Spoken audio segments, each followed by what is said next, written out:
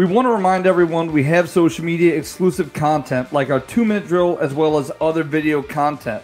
To find that, please make sure to follow us on Twitter, Instagram, Facebook, and TikTok for more. We are kicking off episode number 10 on the Let's Be Frank video podcast. I am Jason Duhe. Of course, I'll be joined by Hall of Fame head coach Frank Monica. Have a great show for you tonight. We have week nine recaps of LHSA football, week 10 previews, LSU, Tulane, Saints football talk. We're also going to have on special guest Eric Held of the LHSAA, and Coach is going to talk about cutting in high school sports. But before we get to Coach, we want to go ahead and thank our title sponsor for being the sponsor of the Let's Be Frank video podcast, Accardo and Dufresne Law Firms, your go-to River Parish lawyers. So, Coach, about to get things off with the playoffs, just uh, a skip and a jump away. Week 10 games how difficult is it to keep your team focused with the playoffs looming right around the corner and a lot of rematch potentially happening? Well, the one thing that if if you if you're if you're fighting for a position and uh, the coaches know their bracket, they know their bracket. They're ready. They've already researched this. They figured it out, and they they can tell you exactly what a win will do for them and who they play. Uh, you know, the, the 28 teams and 24 teams, it's, it's pretty easy to figure that out uh, even though it's a game away because a lot of them are in district play. They won't move too far, uh, but a, a, loss could bump a, a, team down, and that matters a lot. One spot can matter a lot about who you play and who you beat in the first round, second round, because there is a big difference in the brackets. Uh, you know, sometimes you don't want to face a certain team that's, uh, too early in the bracket. Uh, maybe you don't mind. You know you have to face them if you want to win the whole thing, but you don't want to see that to happen the second week of the season or maybe the first week of the season. So believe me, they know there's something out there still to play for. Thanks, Coach. And we're going to take a look at our recaps first in our first segment of prep talk. Coach, in our first game, we had Southern Lab taking on Kentwood, and we know what a tightly contested game that is. Southern Lab went into the fourth quarter down 31 to 19, came back, scored a touchdown, made the two point conversion to go up 33 to 31 to cap that game off. That's a big win for them. Well, we, we, we predicted that last week on, on the show because, you know, Kentwood's a different football team when you take them away from the, underneath that tower. And uh, they had to go to Southern Lab, and Southern Lab is a talented football team. So this was no no surprise. In fact, we knew there was going to be an excellent ball game, as you can tell by the score. Absolutely, two really good lower class ball clubs. In our next game, we had St. Charles defeating Country Day 49 to 7. No shock there. We know Country Day is really a thin ball club. They don't have a ton of numbers. And St. Charles just seems like uh, just continues steamrolling through their schedule and playing at a very uh, high level. No, the, the, the, game unfolded exactly like you wanted to. Uh, they get a, a kickoff, knocked them down, knocked Country Day down deep in their territory. They ended up punting the ball in a very short punt. Uh, St. Charles had good field position most of the night. Uh, Brady St. Pierre was really threw threw the ball extremely well, and then they got two running backs there, Willison and uh, Skylar Edwards are really having phenomenal seasons there. So their offense is really clicking, and then uh, uh, you know their defense has played well all year long, and and so they're a complete team. They, they, they complement one another uh, in, in, terms of that. Kyle Cannon had another pick six, and then he's no he's he's had a phenomenal year, and he's been recruited by a lot of people, and I think that. Um, it's to be this week is going to be a little bit different uh, as far as the, the competition. So we'll find out. And we'll talk about that game later, of course, as they're going to take on Newman. But uh, looking at our next recap, we had Catholic New Iberia defeating Loreauville 14 to nothing. Catholic New Iberia kind of uh, not getting a ton of noise, but are right up top of their bracket right now. I think they're sitting around three. A big win for them. Coach Desimo has done a great job going over there. They were unknown at the beginning of the year. They got a couple of early losses, but now they're starting to move and improve. And it looks like he's got he's trying to change that culture a little bit to get it back because they used to be a real good football team, and they went to Loreauville to play at Loreauville, and that's not an easy place to play against a lot of speed. But I don't know if Loreauville played their best ball game, but give a lot of credit uh, to Catholic High. They're a team to be reckoned with, and because that's exactly what I talked about earlier. There's someone that you could face early in the playoffs that you don't that you don't want to see. Definitely talking about teams you don't really want to face in the playoffs. In our next matchup, you had St. Thomas More defeating Westgate 31 to 21. St. Thomas More seems like they're the team to beat in that Division Two select side the bracket. They are a phenomenal ball club, extremely well coached, and they always seem to put up big numbers offensively. And they have, they have real good players. They're well coached, as you said, a lot of numbers they're number one in power ranking. It, it's going to be hard to, to take them down because they can play defense, play offense. They fast paced offense that they that they run there, and their special teams are always really good special, really. So I, you, can look for them to you know, Coach Hightower's got them going again. It's one of the winningest coaches in Louisiana. It's no surprise that they, will be the Superdome uh, when that time comes. I, I hate to be somebody's bulletin board material, but man, St. Thomas More versus Lafayette Christian sounds like a really a really great way to cap off the season if we can get that game in the dome. In our next matchup, we had St. Amant taking on Walker. St. Amant won 31 to 28. You mentioned St. Amant hadn't had a ton of marquee games on their schedule. Walker, a really solid ball club and well coached as well, but uh, it was the Gators' night. That's a huge, huge win for St. Amant. Really helped their their power ranking, you know, and uh, they, they have a they have a real physical football team. Not great speed, but a very physical football team. They're big up front. Walker with you know Coach Mahaffey's got him going over there. He's changed that culture within a couple years here. Uh, but Coach Oliver, you can't be happier for a guy that that's really paid his dues there at St. Amant over all the years and uh, that he's been there. So uh, tribute to them. And you know we like to see both these teams advance. They're both pretty high in, in, in their power ranking right now. So you, you can see them both get a, a first round bye. In our next matchup, we had Holy Cross defeating Jesuit 30 to nothing, which uh, score that jumps out a bit since this is the first shutout that's occurred since 1976, which is saying something. Of course, the 104th meeting between these two ball clubs, uh, a history rivalry that you've been a part of. What is it like to be a part of this rivalry? And is that score a bit shocking for you to see? It's not. It's not a shocking. The Jesuits' offense right there did not play well. Uh, they only had like 130 yards total offense on, on the night. They only had a couple first downs in, in the first half. And Holy Cross methodically had, had some nice long drives. Kind of tell us led the way right there.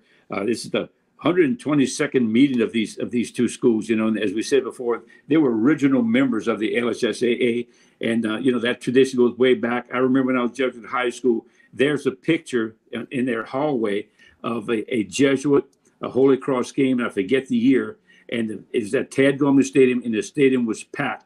In fact, everyone there was dressed up. All the men had had coats and ties on and a hat. It's a tremendous picture. Uh, but but that, that that just goes to show you the tradition there that goes on for years. And there's a lot of things and activities that take place with Hall of Fame guys being announced at halftime and stuff at this special meeting. So it's uh, great to see those things. And you know, you know, there's always saying that tradition never graduates, and it's great to see that still happen in high school sports.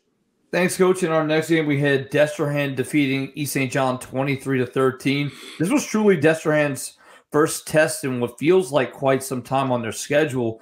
Destrehan ended up powering through in that ball game. East St. John has a very talented offense, a very talented ball club, but Destrehan's defense is smoldering opponents. This is the most points they've given up all year in one game. It's unbelievable. Yeah, 13. It, it, it, it you know, it, it really East St. and Destrehan's the beneficiary of two turnovers.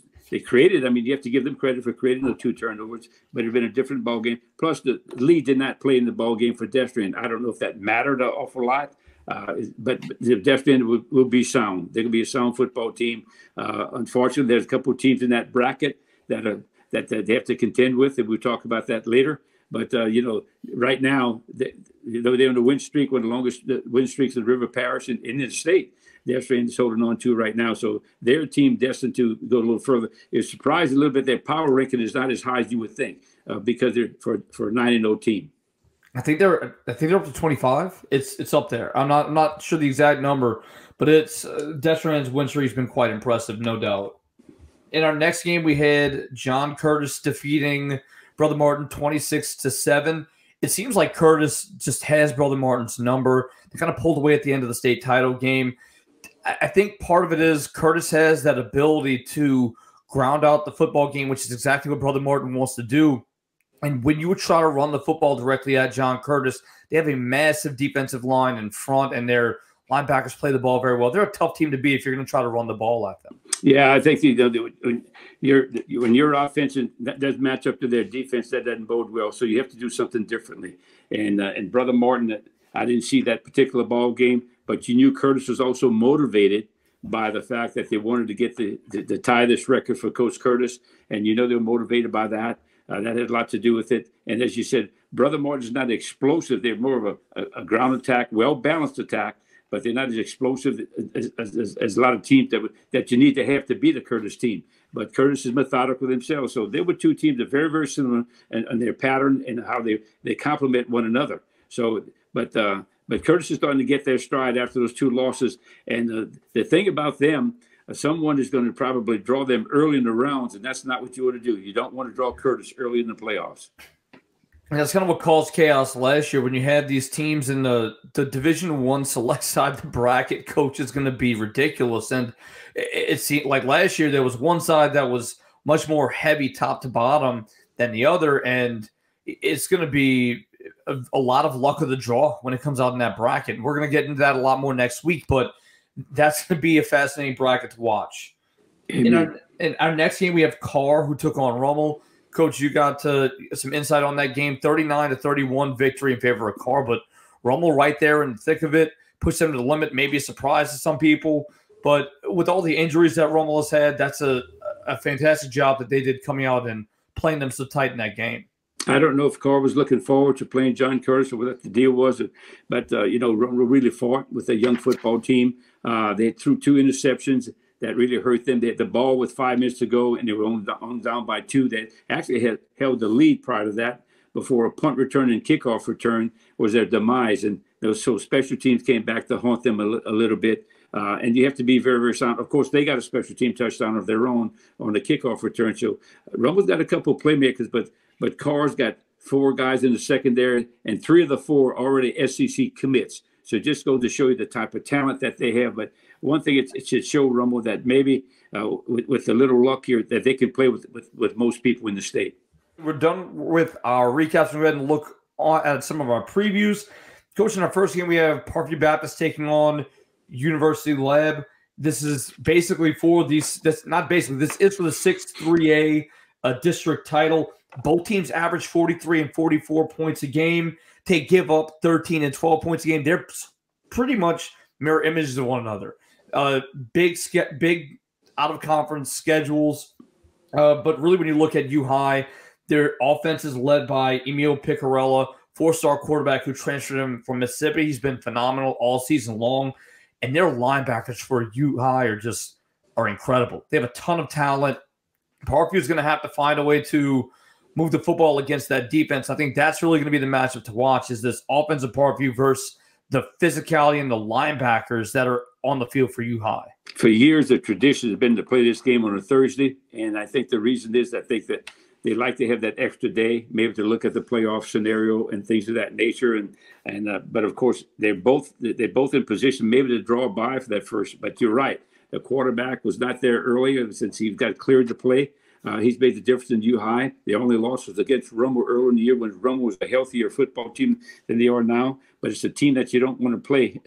uh, they, they, right now they're locked in the four spot, and I, that's not going to move for them, win or lose in, in this particular ball game.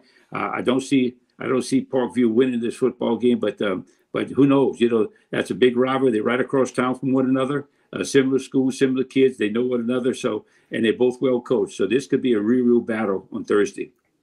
Should be a fascinating matchup. And our next matchup, we have East St. John, who's going to take on Holy Cross. Both teams come in seven and two. East St. John's 13 in the non-select Division One bracket. Holy Cross at three. Uh, with that win last week, they cement themselves as one of the top seeds in that part of the bracket, which, as we know, is huge. East St. John has a ton of playmakers on the perimeter offensively. Dekai Joseph, Coral Gray, Kendall Walker, Jermaine Mangle. And I think that's going to be the big matchup. We know what Holy Cross can do offensively with the amount of weapons they have on the perimeter. Um, but I'm really interested to see uh, Matthew Casimo, Reese Gordon, Tommy Ashby in that secondary of Holy Cross taking on these wide receivers of East St. John. Well, I, I think East St. John got speed. They, they, they, have a. I saw them in the summer in seven on seven, and they got some speed at the wide out position. Their speed can actually negate those cornerbacks that Holy Cross has. But I think the bottom line is going to be can can they sustain a ground game? Uh, it, are they just going to throw it up? And and they have to first of all stop Holy Cross because Holy Cross will give them a mixture. They will give them a mixture. They're well tested. They're battle tested. East St. John has had maybe one or two decent, uh, I, I, think, competitors on their whole schedule uh, where Holy Cross has been battle tested. And the question is, how much are they going to put into this ball game being that's week 10, knowing that both of them have a higher power ranking, but they both can move, actually move up with that. So this could be a real, real uh, fun game to watch. Absolutely. In our next game, we have the big matchup: two battle of two undefeateds. Newman taking on St. Charles Catholic. Newman has done a phenomenal job all year. A lot of people have said, despite losing a lot of talent, maybe better than last year. A ton of talent, Division One level talent, really up front for this offensive line. You have Brett Bordelon, who's already committed to play at LSU. You also have uh, Held Manning. I think that's going to be the biggest matchup of the game, Coach. We know what Eli Fiend, a friend, can do at quarterback. St. Charles offense has put up a lot of points, 37 points a game to be precise. But really, I'm interested to see what Kyle Cannon and his defense can do and what the big boys can do in uh, Jaden Bro and Matthew Loop. Can they contain this uh, offense of Newman? Well, I think that you know that both coaches, Coach Wayne Stein and and Coach uh, Nelson Stewart are both very close. They, they they speak on a daily basis about one another, and, and they know they're on a collision course not only on Friday, maybe with the possibility if they if they both run through this bracket, maybe facing again in the playoffs. Uh, so, but the bottom line is that they both want to win this football game. The winner goes to number one. And that's how crucial it is uh, in terms of your, your placement. And number one, actually, maybe not, that's not the best spot to be when you look at the rest of the bracket. But, uh, you know, uh, for St. Charles Catholic, you know they want to run the table. They left, they have a, a perfect season, 10 and 0. Uh, and, and Newman Newman's sitting there too in the position. One thing that Newman has done, I must say this, they've improved their schedule because in past years they've always had some some teams on their schedule that weren't very very you know competitive, but they've improved it. They put some five A schools in there like like Hahnville. They put the Belle Chasses in there. They put De La Salle, Manning. So they've been battle tested and all just to get themselves ready for the playoffs. Because in the past, they, they faced physical teams that gave them trouble. But now I think that I understand that their offensive line average is 300 pounds, so they, they have some people up front. The quarterback is is the real deal, and they can mix and match. But yet, you know, um, just think that the whole package that St. Charles brings too. And uh, you know, biggest thing I look for in this ball game is the turnover ratio. Uh, the the team that does not turn the ball over will win this football game. Also, look at special teams. We know the Comets are very good, and special teams have a, a ton of big plays, whether it's blocking or returning. I think special teams is going to be a key in that ball game when you look at that matchup.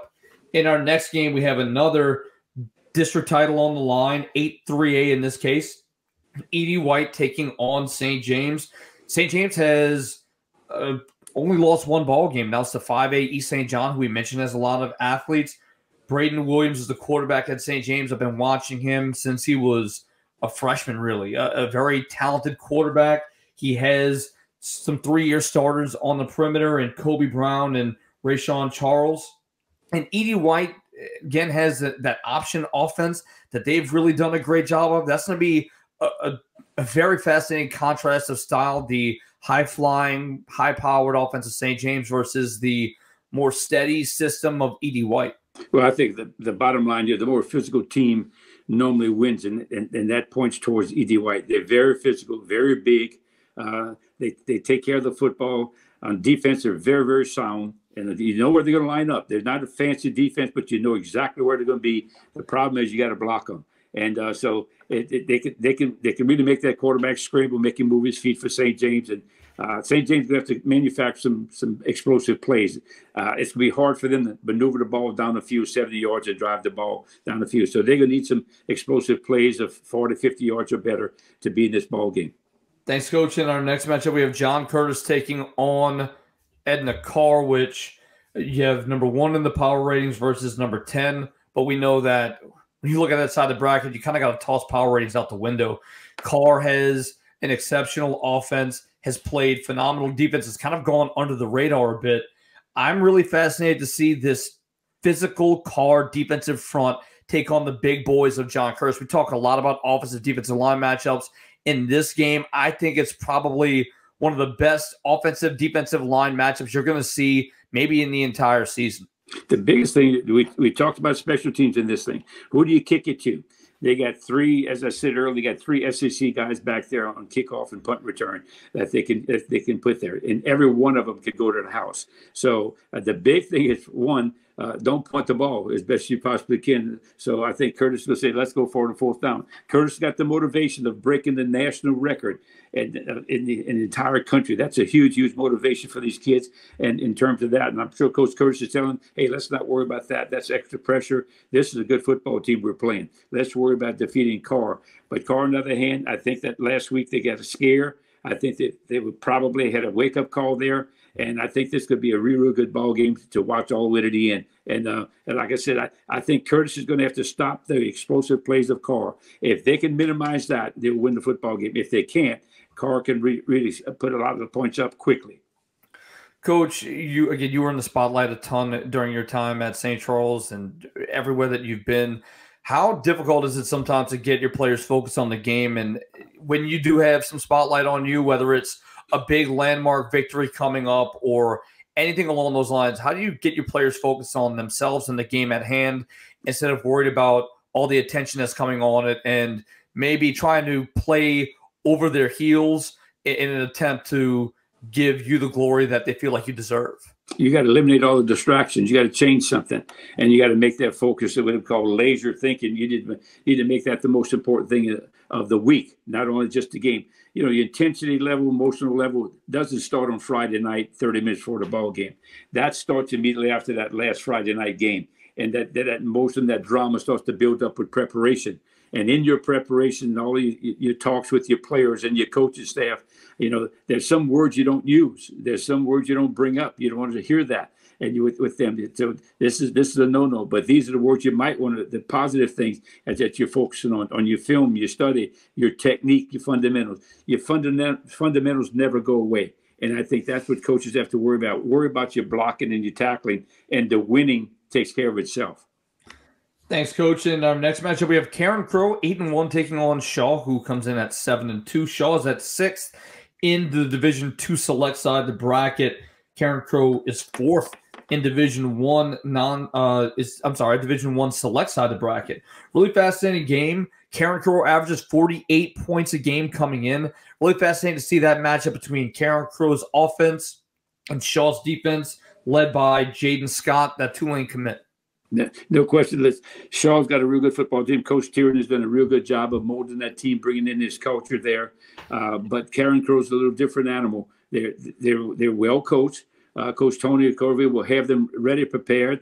They're they've always been really good in special teams. They look for he's got a lot of trick plays off the special teams. Uh, he really doesn't need that because he's got the people to go with it. So uh, this is going to be a real, real big test for Shaw. And really, they need it because if the last few ball games they hadn't been tested in terms of the competition level in, in their district. But so this is a real good ball game. But people don't like to sometimes play that real tough game going into the playoffs. But I really think this helps you to keep the pressure on your players and it keeps them playing well, keeps them playing hard, and more importantly, it, it eliminates all distractions to keep them focused on the season. Thanks, coach. In our next game, we have Rummel taking on Jesuit. We know how big of a rivalry this is. Both teams coming into this game. Rummel uh, trying to get some momentum going into the playoffs after taking that tough loss a week ago. Uh, how do they maintain focus here against Jesuit?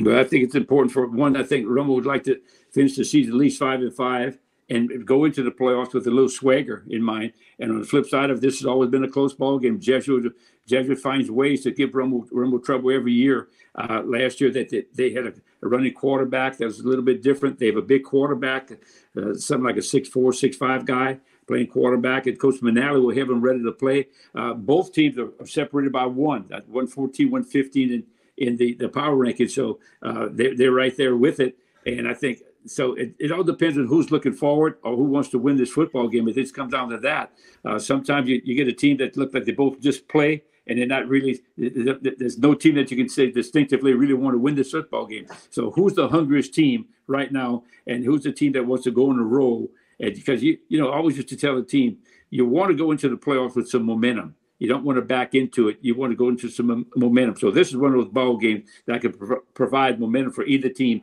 and maybe provide an upset down the road.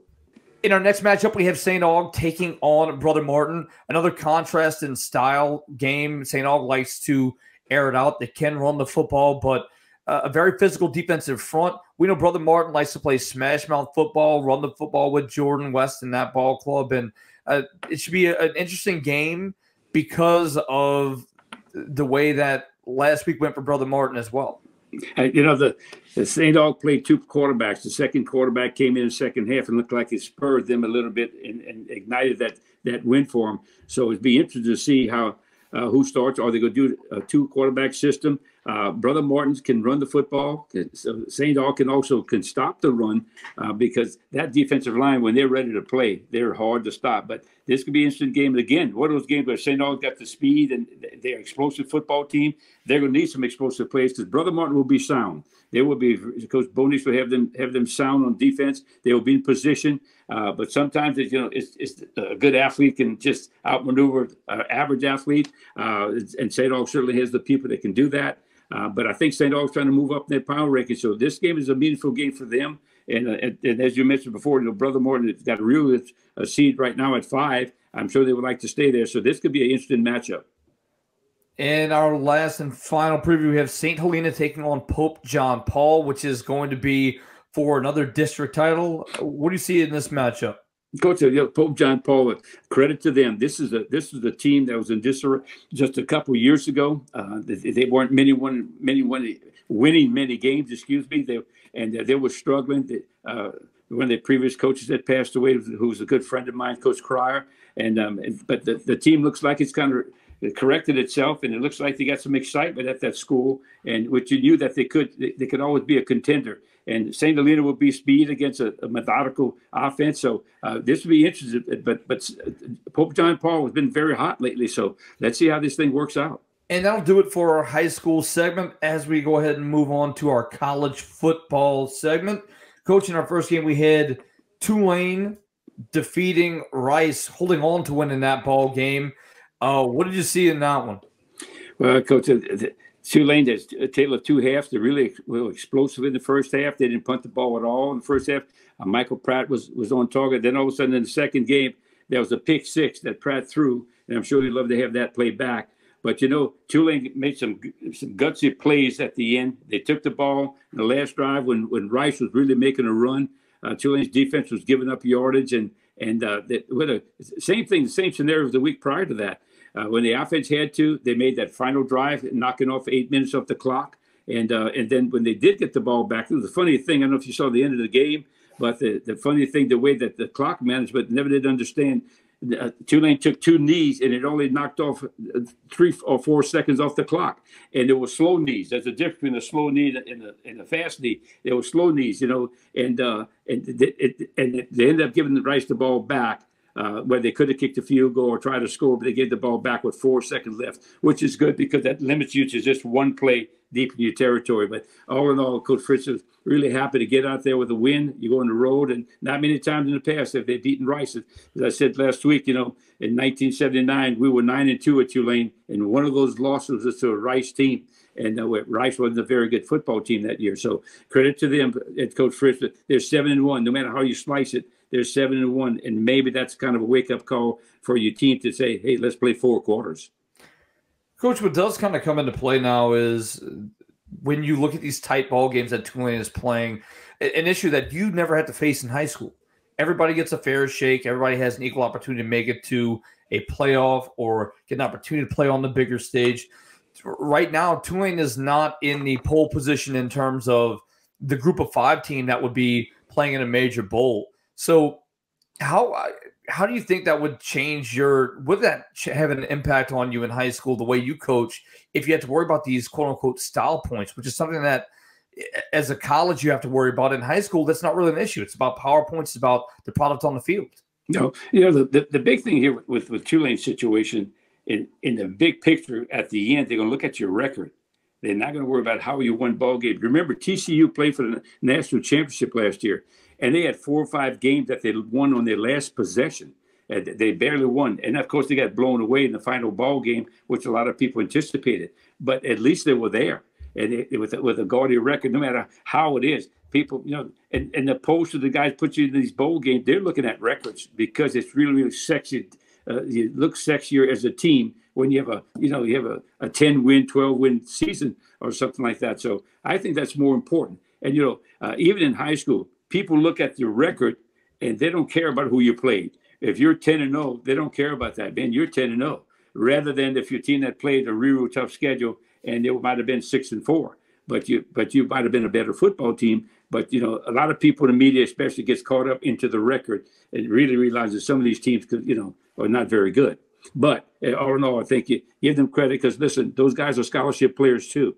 So so give them credit for for the for the W's that they have. Next week they go on the road and take on East Carolina. Not an easy place to play by any means. Uh, but again, Tulane should be favored in this ball game. And I believe they're favored by double digits. They they're favored by 17. It's, it's kind of a scary game because again they're going on the road. But I think that and East Carolina plays differently. I mean, they they they'll be a different football team uh, at their place. But and they're hungry. You know, they don't they don't now can they can they get themselves bowl eligible? Probably not. So what are they playing for? right now. You know, that's that's what you worry about. So it's a coach's nightmare right now to try to motivate your team. You're talking to your players. You know, we talked to a coach last week that was on our podcast. He talked. He spent the off season, off. I'm sorry, their off week, their open week, on talking to guys about transfer portals, talking to guys about coming out early. So you have to you have to do some damage control during that off week. So I'm sure the East Carolina staff is doing a lot of damage control when you're one and seven. Thanks, coach. In our next game, we have LSU, who's going to take on Alabama after their bye week. Of course, that bye week probably came at the best time for LSU with this matchup coming up. I, LSU has a lot of injuries right now defensively, and as we know, their defense has been suspect at, at many times in the season. Their offense has played has played spectacular football, but it's a Nick Saban coach team, and even though they might not have as elite of a defense as they're used to, Saban teams are very difficult to beat. LSU, it almost feels like they're going to have to win a track meet if they're going to win this game. You're going to have to score every possession or or close to it. And do they have the offense to do it? Possibly. Are the odds in their favor on the road? Not really likely. Well, the, the, the bottom line here, you know, you, it's a, you said it earlier. It's a Nick Saban coach team, and now this open week kind of serves for them as a real big adjustment team because you know they're young uh, they're, they're not really great on offense. They're not as explosive as they were. The quarterback is not as accurate as they've had in the past, but they're still Alabama. The question is their defense. Now, can D- Jalon Daniels and, and LSU offense uh, do the same thing they've been doing? I don't think so. So you're looking for maybe a lower scoring game as far as the offensive production of LSU's uh, against Alabama. Plus, Alabama's going to shrink the game a little bit. Again, you can look for, the, for this game to go down to maybe being a low scoring game. I, if I would bet this game, I would definitely bet the under. Even though that uh, LSU's been explosive on offense, but this is a different animal when you take it on Alabama, and they say they're going to play you differently. They'll be very, very physical. And if that quarterback for Alabama, if he he can he can throw the deep ball, He's not very accurate, but if he gets if he gets on target, he could give really LSU a lot of problems. So I look for this to be a real low scoring ball game. But you said it earlier, Jason. This is not the Alabama of old. They, they've been sort of a, they bend a little bit on defense, uh, but they won't give you the big play, you know, time and time again, like a lot of teams have done in the SEC for LSU. Coach, fill the blank for me. LSU wins this football game if. If LSU wins the football game, if I think they can get to 30 if they can get to 30 points for their offense, either way, all the special teams, they, they get to 30. Now, because Alabama's going to score that secondary. LSU's defense has not been tested for a while. They got a lot of young guys back there. Remember how porous they've been at the beginning of the season. Uh, we don't know for sure if they fixed that. Yeah, I don't think they would fix it totally, but are they better at that? They made some, they tweaked the, some guys out of position. They got a linebacker back. I think they understand what they want to do with Perkins now in terms of that, but their corners now are retreads. They're guys that are not really corners, and so uh, I, I can see Alabama taking advantage of that. Thank you, Coach. And uh, in our next segment, we have Saints talk, and the Saints defeated the Colts this week. Uh, not a great Colts ball club uh, up this far, and then you have a game against the Bears next week. What can they do after this win to gain some momentum and uh, go on? Uh, you have again a, a Bears team that's hasn't been very good maybe looking for one of those early picks next season. Uh, what do you expect the Saints to do moving forward? Let me go back just a little bit. You know, a week ago, everybody was crying about the play calling and stuff like that. All of a sudden, those same plays worked Friday. I'm talking about Sunday, same plays. Uh, they threw vertical uh, two, three times to Shaheed. And I mean, he makes a great plays. And one of them was a catch that he had, and, they almost stole it from him. And uh, this is the same plays that they've been they've been using. Carr had an excellent ball game because uh, you know, you throw up some 50-50 balls. Some the ones that sometimes they don't come down with them. Well, another game when you lose, they don't come down with. This particular game, they came down with the deep balls, and uh, also they, they they just mixed the game up. I mean, they still were in the inside zone. Kamara just split them in the inside zone. Then Williams comes in, who I really love because he he goes forward. And I mean, he's this guy doesn't lose any yards, and he's a hard, hard, tough guy. He's hard to, he's you know, he's he's, he's hard as a rock. He's tougher than two dollar steak. But um, but uh, you know, give them credit. Coach Carmichael called a great game. That's the same type of game he's been calling. Uh, they just happened to hit some of these big balls, the big routes. They, they hit a, a, a, skinny post. Well, they've always run skinny posts. They hit a vertical to sheet. They've always run that. Michael Thomas had a, a, back shoulder throw. They've always thrown those same those same routes. But all of a sudden, now nobody's talking about the play calling this week. All that happened, the players went out and made plays. That's the difference. Carr throws a beautiful ball. And uh, but as you said, for let's get into the Chicago game. Let's hope that they can bring some momentum into this ball game. And uh, one thing I did like to see them do, they threw the ball vertically more than they normally do. They had some some deep throws, and you really need to back up those guys a little bit because they'll squat on you. Those corners will gamble and squat on you. You know, and uh, there was one ball, in fact, Carr threw in the in the previous game against the Colts. It hit Olave in the helmet. Uh, I don't know if he's turned around or, or see, but it was a big play. Then the next play, he's wide open again, and, and overthrows him. But uh, you know, this is the same, and, and, the, and the, defense looks like they, they, they're playing well as they always do. But you know, in the NFL, as we said before, uh, any win you get in the NFL is huge. They, are right at the top right now in the division. So let's hope that they can play with some motivation and maybe get on a roll, especially at home against Chicago. All right, Coach, that'll do it for our first segment. So we're going to take a break. And when we come back, we will have our special guest, Eric Held of the LHSAA joining us. But before we do that, we want to go ahead and thank our title sponsor, Accardo and Dufresne Law Firms, your go-to River Parish lawyers.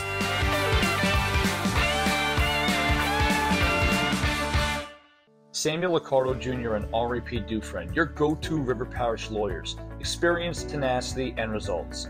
Sammy Accardo and Henri Dufresne provide comprehensive legal services in personal injury, hurricane claims, business litigation, successions, and estate planning. Our trial experience, know how, and commitment to protect and serve our clients is unparalleled.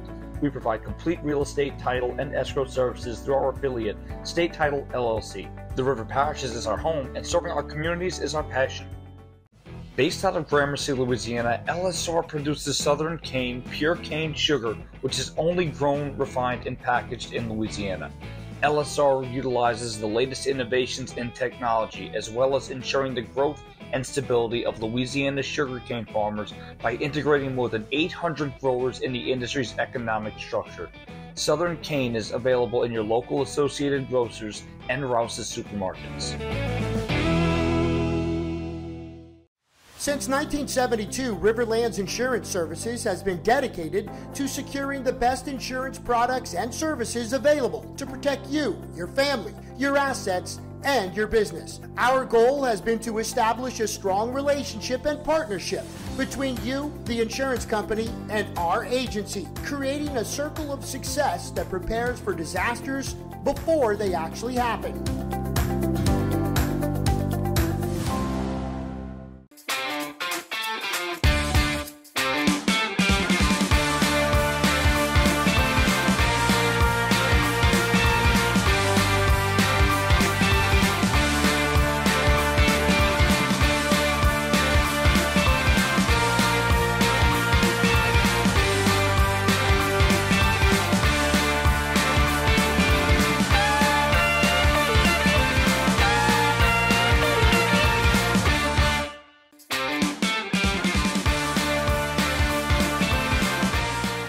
Welcome back to the Let's Be Frank video podcast. Our special guest tonight is a former high school head football coach and the current assistant director for the LHSAA. We want to welcome in our special guest, Eric Held. Eric, thank you so much for joining us. We appreciate you taking your time. And, you know, you as a former coach in the LHSAA, how has that translated to what you do now for the LHSAA in your job? Great question. So, as you mentioned, I taught and coached for 25 years, um, football for all 25, a number of other sports as my second sport, so to speak. And um, this is my fifth year as director of the Coaches Association. It's been a very rewarding experience. Um, what has helped translate over and make the transition easy is are the relationships that that you have. Uh, the thing that's been most rewarding for me is meeting coaches in other sports that I didn't know. Um, volleyball coaches, softball coaches, basketball coaches, just because a lot of times in football and other sports, baseball, track, golf that I coached, I wasn't able to meet coaches in those sports. So it's all about relationships, as Coach Frank knows. And um, heck, he's old enough to know um, me as a player when he coached against me when he was a head coach at Jesuit, and then I was a player at Brother Martin, and then we coached against each other, and I got to watch all his teams in baseball and football. And uh, it's all about the relationships, uh, building them, maintaining them, and um, that's what this is all about. Coach, you know, a lot of people don't understand the difference when they look at Louisiana High School Athletic Association but you're in charge of the coaches association. Many people think it's just football coaches, but the, as you just said, the coach association is encompasses all the sports, and you're in charge of all those. Would you explain that briefly? Sure. So as you mentioned, a lot of people don't understand the difference because I'm at the LHSAA, I'm in the building, we work hand in hand in so many things throughout the year and, and on a daily basis. And as director of the Coaches Association, I head up um, um, just the with the coaches our our all star events, um, overseeing um, our coaches association membership, which all schools um, pay for their coaches, their athletic directors, and their administrators to be a member of our association. So many benefits come with that. One of them, of course, is our summer clinic, um, where we provide professional development and coaches in all the different sports come in and uh, a great opportunity to network as well. And that last event before you get into the school year. Um, but also with that, just working with assistant directors. We have four great assistant directors in our building, along with Mr. Bonine, working with them and uh, also helping him with the sport of football. I oversee the sport of golf as well. But um, going back to, to the Coaches Association, our Coach of the Year awards, in in the different organizations nationally, NFHS, um, National High School Athletic Coaches Association. So there's so many things out there that we do that we provide for coaches, and then of course doing social media and providing coaches with professional development opportunities and making them aware of how they can grow in the profession and and help better themselves because as you know um, you never stop learning, coach. Uh, that's one thing you're able to do with this is still connect with those college and high school coaches that come on as guests, and you just continue learning. Coach, you know, a lot of people don't understand, but how many total athletes are there approximately in Louisiana? And you're you're responsible for all those. And when you know when one of them gets a headache, you have to take an aspirin because I, I know you get a lot of phone calls from a lot, a lot of people, media, and parents and about various sports and stuff. But how many athletes are you basically responsible for? Well, just for me, with being with the Coaches Association, we have over 9,500 coaches, close to 10,000 now. Um, coaches register throughout the year. Our, our schools are registering uh, coaches throughout the year in the different sports. So they may not start um, on a coaching roster, but they end up getting added. So um, just we we we talk to coaches, athletic directors, administrators every day, and um, when you get into your sports specific, you'll have some parent questions, and we usually direct them to their athletic directors or those head coaches back in their sport, just that they can um, learn to communicate with them and and uh, build that line of communication with with their school and because they're with their son or daughter every day and right. uh, again, that's what it's all about building those relationships. Coach, high school football is very, very popular. High school athletics is very popular athletics, no matter what, what the sport might be. But what is the atmosphere out there in high school with numbers, and what are some of the issues that you constantly dealing with in terms of not being specific, but what are some of the big issues now that high school athletes and, and fans should be aware of? Sure, I think probably the biggest one, as you know, is the select non-select split is is a all the time thing. Um, we hear it all the time. Um, everyone has a way to improve things. As you know, back in 2013, we saw the split take place in the sport of football, and since then, it's come in in uh, boys and girls basketball, and um, baseball and softball as well. There have been other attempts or conversation to split other sports. Thankfully, that has not happened. Understand being on the other side now because I was a coach for so long, I guess, in all select schools. But being in this position, you get to hear the concerns of those that are on the other side, so to speak, and you understand where they're coming from. I think last year, what the executive committee did um, with um, the brackets in those Very sports positive. that are split, mm-hmm. I think uh, you see things where it's more equitable, more competitive. You don't see the blowouts.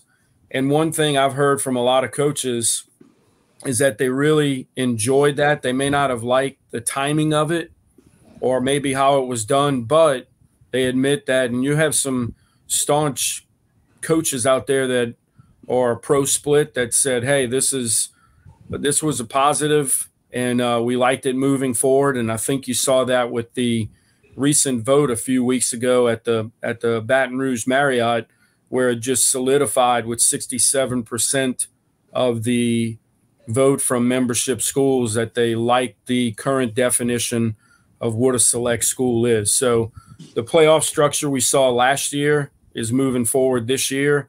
And that's probably one of the main things we hear about um, from coaches and athletic directors those questions about select, non select in the different sports. And then, of course, the definition of select. Yeah, I know the coach did listen from a standpoint of you know I've coached on both sides of it, and but you know there's nothing like the 32 team bracket where you know you're going to guarantee you play 15 games and and you get a chance to travel during the playoffs. And, that's kind of going away. But this is what, what you guys have done with it and tweaked it.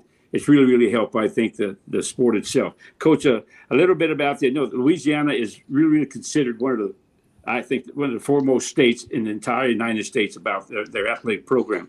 I get calls. I said calls. I've had guys that coach in other states, and they were really, really intrigued about our power ranking system and uh, and how we how we tweak that and how it works. And uh, because they think that you know you get rewarded for uh, playing a real good schedule. Some people don't like it, but I mean, if you don't like it, just just play a tougher team to increase your your power ranking. What's your take on that? Sure.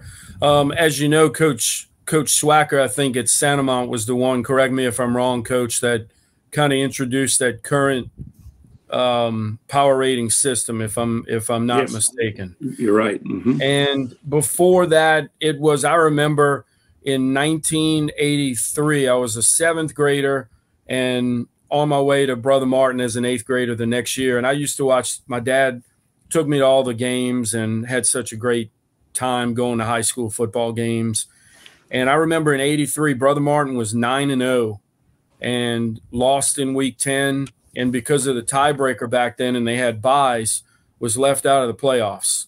And um, the next year, the wild card system came in because of that. So that was an addition. Well, there needed to be some tweaks, and Coach Swacker and other coaches got together and came up with a system on on how to improve that. There's always ways you can, or always ideas out there that that can be made to improve it. We always ask people to, if they have any suggestions, to uh, present a proposal for that. Um, but I think the power rating system does as good a job as any to reward those teams who, of course, win games, but then play a tough schedule where those wins from your opponent count into the formula.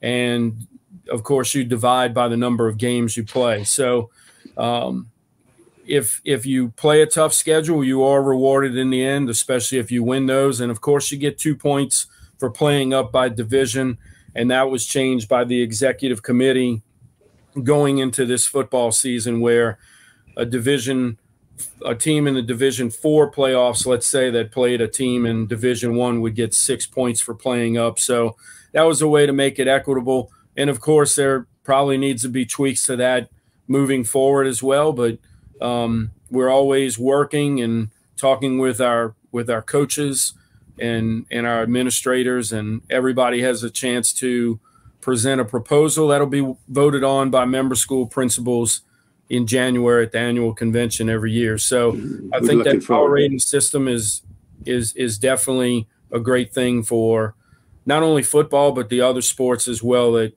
use power rating systems. Yeah, coach, you know, along those lines, it's a great explanation. Along those lines, also, I've always been a proponent, especially now because you have so many changes in school. You have more sports. When you and I first grew up, we had four major sports. You know, football, basketball, track, and and then the, uh, and and baseball naturally.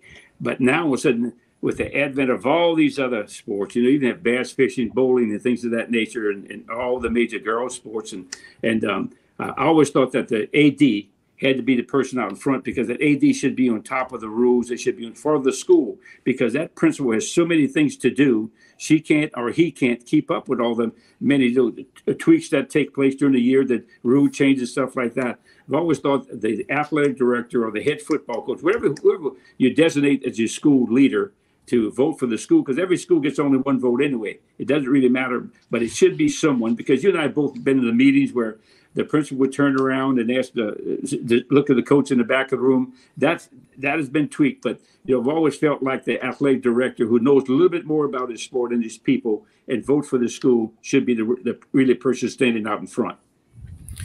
Yeah, it's a great point, and you have some principals out there that that have uh, definitely taken that mindset as well, and a lot of that has to do with you have a lot of administrators now where um, they have to fall back on on their athletic director's knowledge or uh, the coach in that sport when there's a golf proposal out there hey i need to ask my golf coach or my athletic director about this because i may not be familiar with this. Or if it's just a general bylaw out there not with a specific sport um, to get educated and talk to other principals. These days every I believe there we have on average 25 to 33 percent of our 404 member schools are new principals every year. So you have brand new principals coming in. Some of them are, are moving up from assistant principal in charge of academics or curriculum and instruction, or maybe they were dean of students Maybe they were the campus ministry director. Maybe they moved in from out of state. They may have been a lifelong teacher that all of a sudden ascends to uh, becoming principal at their school, and they don't have that background knowledge. And so you really need strong athletic directors. Um, you you you're seeing some coaches that have become athletic directors move into administration that become principals, but if you think about back in the day 20 30 years ago coach where you saw a lot of coaches right. retired they you don't have that anymore. Right exactly. It's a great a great explanation. Coach i want to talk to you a little bit about what would you like to see in terms of colleges that recruiting our athletes? Uh, what are some of the rules you would like to see them Im- implement that might help the high school and the high school athlete? I saw just the other day something that really puzzled me that some uh, great players in high school, these five star guys, are foregoing their senior year and they're entering into the spring training of the of their college of their choice. Uh, what's your take on that? Boy, I the the first time we saw this, and this was light years ago, it was 2003. You remember John David Booty at, at Evangel. He played his yes. junior year, um, coached against him in the semifinals when I was on great staff at Rummel and um, they had a great team. Gosh, and uh, he played his junior year, and he was supposed to come back in 03, and he for he he he went. Um, he I'm trying to think of the verb now, but he decided not to uh, return to Evangel, and he enrolled in USC, and he skipped his senior year. He had enough credits because he, he was a really smart guy and he always was one step ahead academically. So he had all the credits and he enrolled at USC, but that was – in 2002 2003 so 20 years ago and now you're starting to see it as you as you mentioned.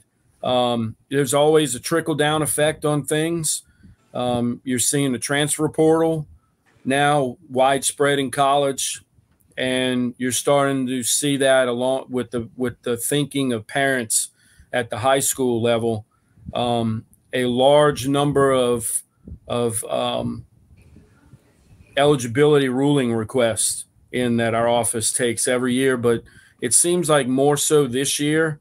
And it goes to that transfer portal where a lot of these parents think, well, they're doing it in college. Well, certainly I can do it in high school where I can just bounce from one school to the next, which is not the case. So a lot of those things trickle down with NIL. We're starting to see that um, throughout high school. We haven't really seen it that much in, if at all, in in Louisiana, which is a, a good thing, I guess you could say. I guess I'm an old school guy.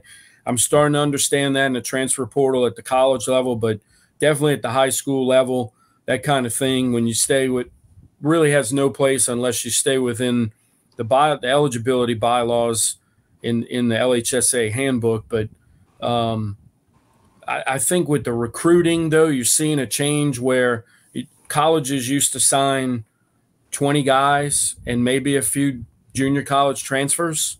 And now you're seeing where it's the majority of college college signees are from the transfer portal, and you may have five to seven high school guys in some case some cases sign with with a college. So I think that's a big concern of high school coaches and athletic directors. And um, I remember when you you'd get a guy that was a really good FCS one AA prospect, and now some of those guys aren't having that opportunity because you have those FBS transfers, those guys that jump in the portal, and their best chance to play is go the FCS route, or just the opposite. You're seeing a lot of those FCS guys go to the FBS. You got two guys starting in the secondary for LSU that are a McNeese and a Southeastern transfer. So I think the transfer portal, I think I got most of that right, but I think the transfer portal is really something that's come in and has just consumed college recruiting. I agree, Coach. What you're having now, a lot of high school kids are being overlooked, and and what happens to them? I've seen a lot of them, and they're not being recruited because uh, colleges are waiting for the portal to open up to look for that that need based guy that, that, that would help their program immediately. And the the other side of that, you know, is that uh, junior college kids are, are, caught too. They're caught in that that that same vice because they, there's nowhere for them to go if the transfer portal is going to be used. And and uh, coach, uh, the other thing, last question, I did want to talk a little bit about your background, but seven on seven. I noticed that the other day the Olympic Committee is now going to make that Olympic sport. Do you see that coming to fruition to be maybe a sport in high school? I know flag, or, flag football. Mm-hmm. Sure, yeah. So mm-hmm. I think that's a really good thing where they have girls flag football coming in as an Olympic sport. I think the men's the men's came in as an Olympic sport as well. No, okay, yet. just the girls. Mm-hmm. There's been a big push from the NFL and also the New Orleans Saints. We've had conversations with them. Um, the Saints sent out a survey to schools and um, on on uh, girls flag football to see what the viability is that uh, of that of that would be in the LHSAA. There's a big push, like I said, from the NFL and the Saints. A lot of money's out there. Alabama and Georgia and quite a few other states, Florida have girls flag football as a as a sport. Could I see that being added in the in the near future? Possibly so. You need 80 schools to uh, to sign on for a sport to be added. Um, but there but there are avenues for those girls to compete. The the Saints are looking at, at ways to make that possible. So anything we can do to help out with giving athletes an opportunity to compete in in these new sports and girls flag football is one of them. And um, you've seen it um, come to center stage last year at the super bowl where they had uh, girls teams from around the country um, compete at, at the site of the super bowl uh, the day before if i'm not mistaken. So th- those are great opportunities. I think that'll be a great sport for the olympics to add see these uh, girl athletes compete.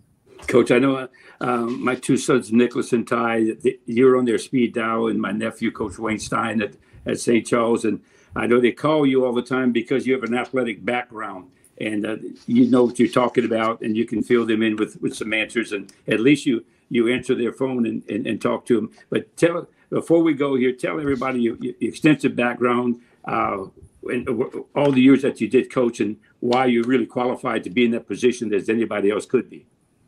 Sure, I had an opportunity to compete as a high school athlete with some great coaches at Brother Martin back in the day, and um, had my first opportunity as a teacher and coach. Coach George Schaefer um, had an opening on his staff at Holy Cross in 1995, and um, they needed a, a, a, coach. Went in, uh, they needed had a social studies opening, and went in and interviewed during two days, and ended up getting the job. So that's kind of the relationship part of it, as I was mentioning before. And then um, when I graduated from from college, had a had a, a different uh, career path, so to speak. I wanted to train thoroughbred racehorses. You and I have a passion in horse racing, and we talk about it quite a few times a year. But that was my my career goal to train thoroughbred racehorses, and I did that for a little while. Was um, on the path, uh, moving up, just as you move up as an assistant coach, and then you become a coordinator, then a head coach, and that was my goal. It was going to take a few years, and um, coach Conlon, my high school football coach. Um, outside of my my my dad was probably the most influential male figure in my life, and he offered me. I took a break from racing, and I was going to go back to the racetrack and at the fairgrounds in uh, in November when uh, the the meet came back to you have the Thanksgiving Day opening day and uh, Coach Conlon offered me the eighth grade football job, and I reluctantly took it. And um, I coached a few months and caught the bug, but was going to go back to work in racing as a vet assistant.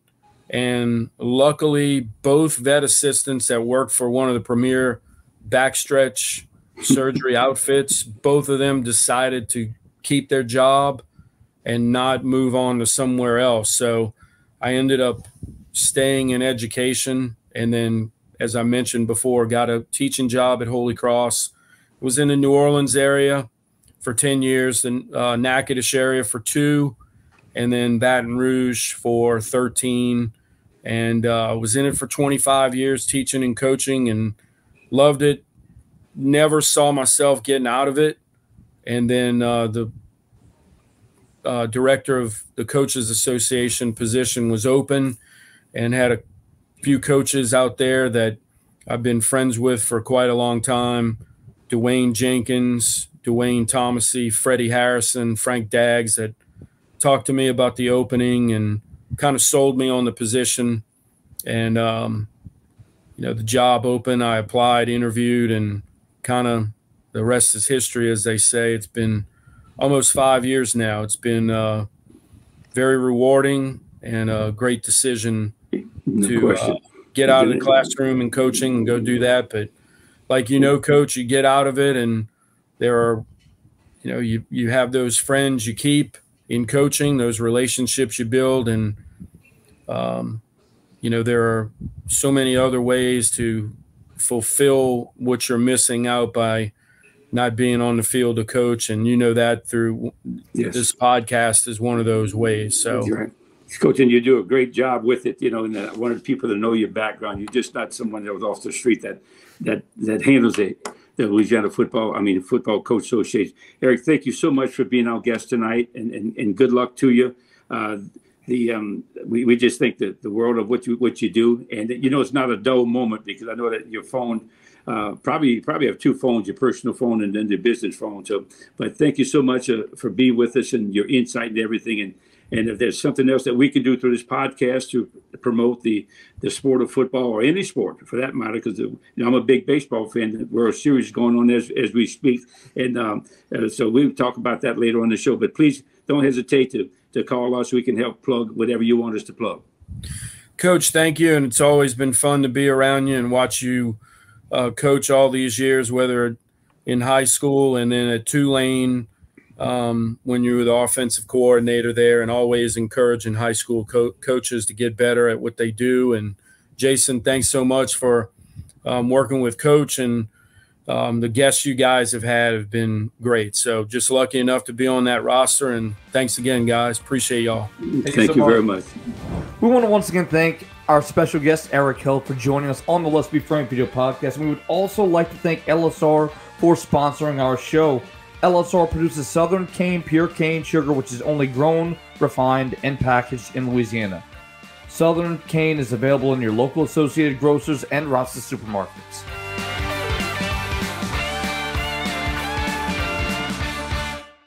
Samuel Accardo Jr. and Henri P. Dufresne, your go-to River Parish lawyers, experience, tenacity, and results. Sammy Accardo and Henri Dufresne provide comprehensive legal services in personal injury, hurricane claims, business litigation, successions, and estate planning. Our trial experience, know how, and commitment to protect and serve our clients is unparalleled. We provide complete real estate, title, and escrow services through our affiliate, State Title LLC. The River Parishes is our home, and serving our communities is our passion. Based out of Gramercy, Louisiana, LSR produces Southern Cane Pure Cane Sugar, which is only grown, refined, and packaged in Louisiana. LSR utilizes the latest innovations in technology as well as ensuring the growth and stability of Louisiana sugarcane farmers by integrating more than 800 growers in the industry's economic structure. Southern Cane is available in your local Associated Grocers and Rouse's supermarkets. Since 1972, Riverlands Insurance Services has been dedicated to securing the best insurance products and services available to protect you, your family, your assets, and your business. Our goal has been to establish a strong relationship and partnership between you, the insurance company, and our agency, creating a circle of success that prepares for disasters before they actually happen.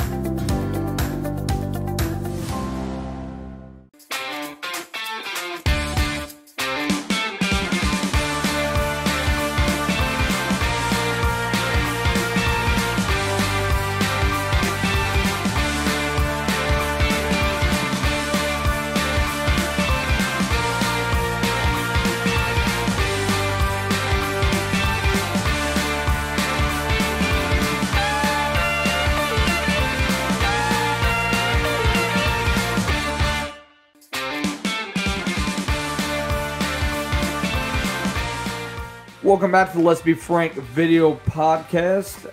We want to go ahead and thank our sponsor, Riverlands Insurance, for being a part of our show. Since 1972, Riverlands Insurance Services has been dedicated to securing the best insurance products and services available to protect you, your family, your assets, and your business. So we're going to go ahead and dive into the Let's Be Frank segment presented by ULCS. And coach, today we are going to talk about should high schools cut through tryouts in high school sports? Guys, this is something I've been wanting to talk about for a long time. It's been very dear to my heart. Uh, years ago, when I first started coaching, when I first became a head coach, and this was happened to be in baseball, uh, I had a, a, a, cut system. That it's because I only had 18 uniforms, and I cut a kid. And after that one moment, I still regret that till today that I did that. And what I've learned since that time is not to not to use the cutting process whatsoever. And you say, well, coach, how do you handle all those kids? Well, you one, you go to your principal and ask for, for more money to buy more uniforms, and you keep those kids around. You give them a role. Said, okay, you, you're on the team, you made the football team or you made the baseball team, but this is your role. And uh, if we're in this situation, if you're on special teams or whatever it is, this is your role. You might be a scout teamer, but I want you to know this is your role. Don't come back to me later on and say. So if it puts all the all the emphasis on the kid, so if he wants to endure that, go to practice, be a part of the team, be a part of the success, and be part of the program, that's all on him. But I've seen too many cases where this is this turns off kids and so to something that they won't do they won't join another team. So the team grows. You get numbers that way. You get a lot of numbers. And, and who's to say I'm gonna cut a kid at 13, 14 years of age, he might grow and get bigger and stronger. Years ago, I'm not going to say that the school I was coaching at a high school, and my coaching staff, we had a sophomore. The kid was really clumsy. And the coach said, guys, we need to cut this kid because he's going to get somebody hurt on the team.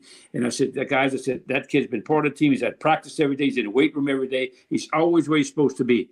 Well, don't you know that kid, as a senior, was six foot three, weighed 215 pounds. He started for us. He made all district as a player. Now he's a very, very successful program. And I just think, I mean, a, a financial advisor. I just think back, had I cut that kid, I don't know what his future might have done. I'm not saying that he would not have been a success, but the fact that I know he enjoyed his high school experience and he stuck with the program. Uh, I know a lady that told me a similar story. She said she went out to be a cheerleader when she was a ninth grader and and she was cut as a cheerleader. You know what she said? I never went out for another thing for the rest of my rest of my high school career. So all of a sudden that destroys your dignity, destroys your, your confidence about doing that. So I don't understand whether it's a cheerleader or, or, or, a football player or a baseball player. I don't understand why that process has to be in place. They say, well, because we have to go to competition. Well, competition, cut your team down then, but let those the kids do something. Very first principal, Mr. Norman Buck, that I worked for way back at Lutcher High School, he would he would scour the halls,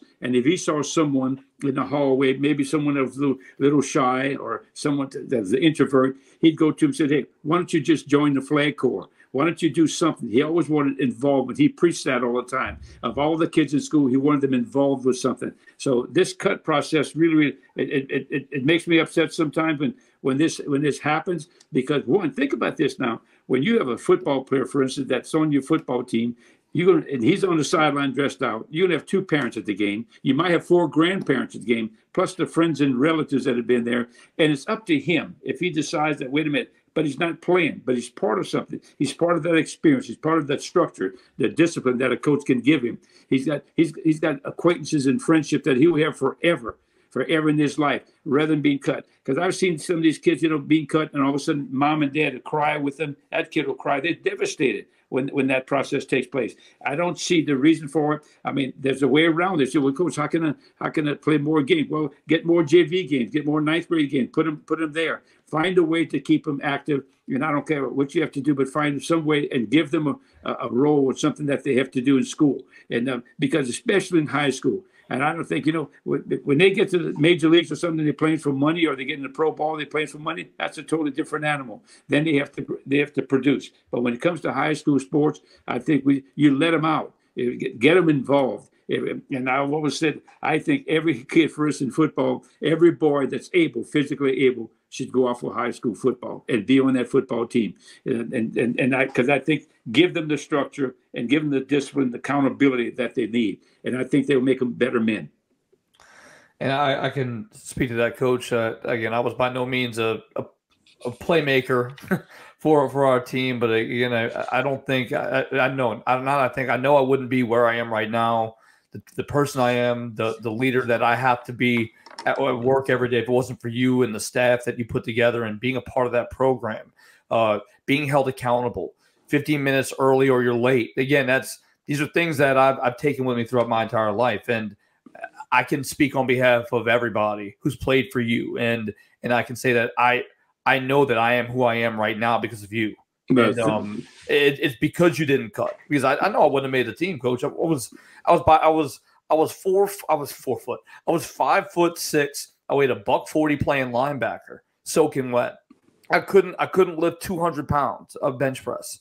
Um, but again, you you stuck with me. You allowed me to be part of the program and made me part of that process. And again, I'm I'm forever grateful for for that, for not having cutting and, and everything yeah. that you guys have done. You were there. You were tough. You were tough. You were there for for everything. You never missed school. You never missed practice. You never missed a weight session. You were there for everything, and that's so big. And because you learned accountability and the structure, and that that's what it's all about. It's not about those trophies on the wall. And uh, so hopefully that's what we can give those people. It's the culture and all the friendship that you acquired.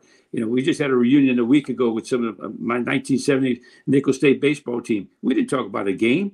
No, we talked about relationships, the experiences that we had got off the field. And that, that, that that's something you don't put in the can of Campbell, Campbell soup.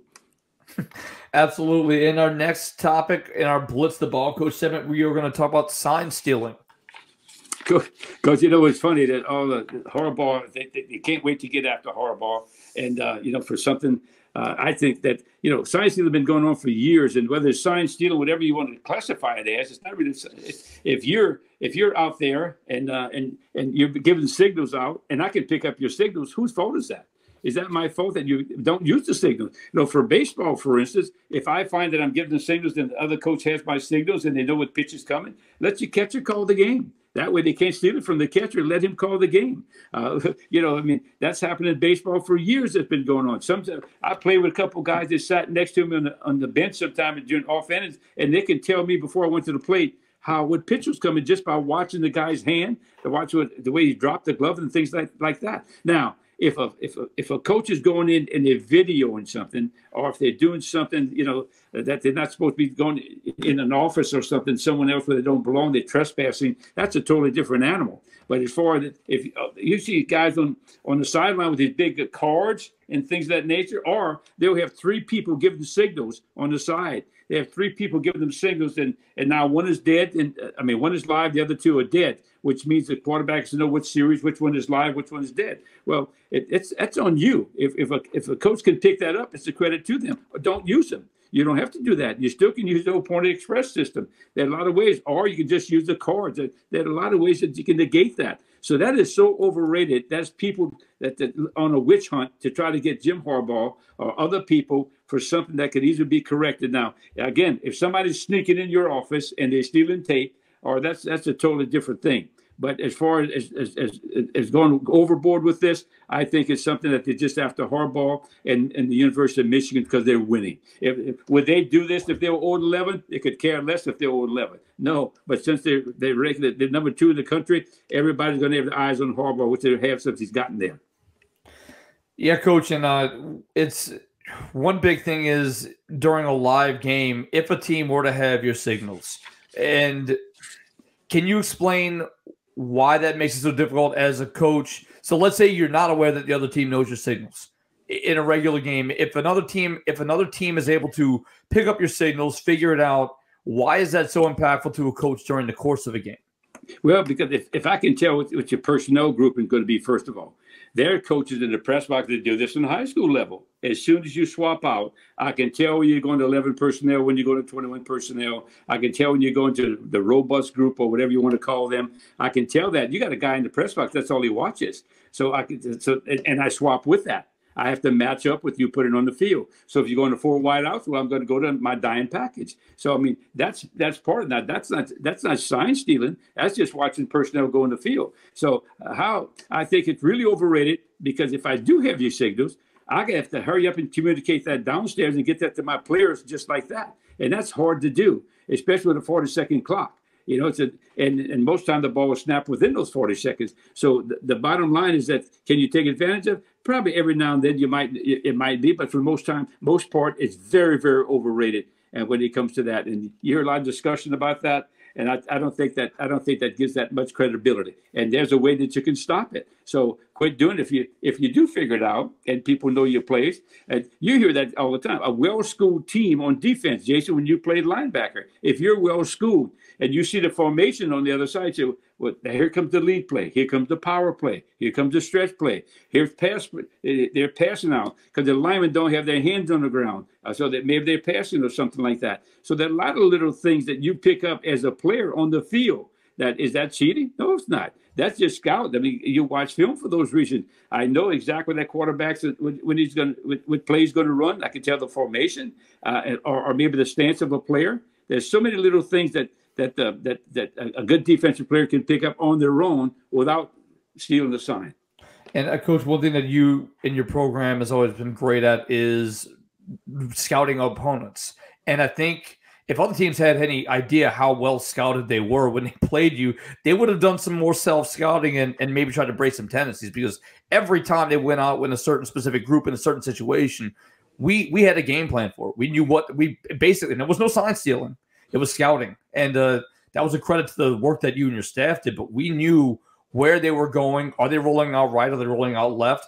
Are they hitting the X or the Y receiver? What's the route combination? What run play are they running in third and three if the ball is on the left hash? You knew that, and um, as you mentioned, not not sign stealing, just scouting. And uh, but your your staff was always exceptional at that. Well, you know, you can't you can't in, in one week's time you're gonna have three practices for a game plan. So, for instance, the big games this week, you practice Monday, Tuesday, Wednesday. Thursday's that much of a practice. You have a little walkthrough and just reminders, whatever. But you Monday, Tuesday, Wednesday practice in high school. In college, it's Tuesday, Wednesday, Thursday, and uh, Friday's normally a, a travel day. But you know, your preparation is the most important thing. You can't change your game plan. You can't change your offense and your defense in three in three practices. So you might tweak it, and of course, you're going to add a play. You're going to add a scheme. You're going to add a route. Uh, defense, you might you might you, you might add a stunt or a blitz or something like that or coverage, but you can't change the whole your whole structure what you've worked on all year long. So that's what you base that on, and that all goes back to watching film, pre- preparing for that, and we call it digging because all of a sudden you never know when you pick up something like 12 o'clock. And I watched that tape four times already, but all of a sudden the fifth time I watched it, I just picked up something I didn't see before. You, you pass that gene on to me, coach. I love I'm I'm a film junkie. I love I love watching tape and I love seeing what we can dissect. It's uh when I was coaching, it was I loved it. Uh, it was it was fascinating to me. But let's go ahead and move on to our lock of the week. Who do you like this week? Uh, Coach, I, I think what I'm going to do, I, I think I'm going to take Air Force. Even though I don't, I hate to pick against the service academy like Army, but I saw Army play LSU, and they weren't very impressive on either side of the ball. And Air Force is actually ranked right now, so this is the highest ranking they've had in years. And and uh, you know, it's really good to see the service academies actually uh, have good seasons because we all pull for them because of the commitment that they already have. And I think they're very, very special guys, and they're not going to quit no matter what because of their training. Those they, those guys get up at five o'clock every morning, and, and, and, they they have a regiment that they all have to adhere to, plus practice football. So, but uh, even so, I'm going to go with the Air Force because I think they're really a good football team. Yeah, I, right now, if the season were to end today, they would have that automatic uh, berth in the uh, major bowl games. I'm going to go with Louisville. They are a nine and a half point favorite over Virginia Tech. Virginia Tech's had a bit of a rocky road. Louisville's played some pretty good ball clubs, and they've been very consistent. Nine and a half points. It, it seems like it's too good to be true. Maybe that's Vegas playing a trick on me, but I just I like what they've done so far uh, under head coach Brohm. I, I think he's a, a really good coach. He did a fantastic job at Purdue, and getting you, as you know, coach, getting to go back and coach where you uh, where you graduated from has a little bit of a different feeling to it. So oh, they, they're really good on defense too. I mean, yeah. they're really good coming off a shutout. They're really good on defense, and they're shocking people right now. They only have one loss, so you never know what's going to happen down this, especially with all these championship games coming up. Right. Uh, there's still some football to be played here, you know, in, in college because they play a 12 game schedule. So um, look at LSU, what's coming up for them. I mean, after Alabama, you know, they got the meat of their schedule right here in front of them. Thank you, Coach. And that'll do it for our show tonight. So we'll go ahead and give you guys our social medias to follow. Remember, you can follow us on Facebook, X, Instagram, and TikTok. Uh, Facebook is the Let's Be Frank Video Podcast. Uh, X, Instagram, and TikTok is the LBF Podcast. And that'll do it for tonight. So next week we are going to have special guest Matt Moscona uh, out of Baton Rouge joining us. It, it, should be a great show coming off of the Alabama game. Uh, Coach, any final thoughts before we get out of here? Okay, guys, I just let's pray for let's pray for our country, pray for our world, and let's pray for the war overseas, and let's hope that things settle down. And uh, and, and just just just remember to uh, let's let's support this great game of football. So that'll do it for us. So for Justin Thomas, for head coach Frank Monica, I am Jason Duhe, and remember, let's lay ball to lay let the good times roll.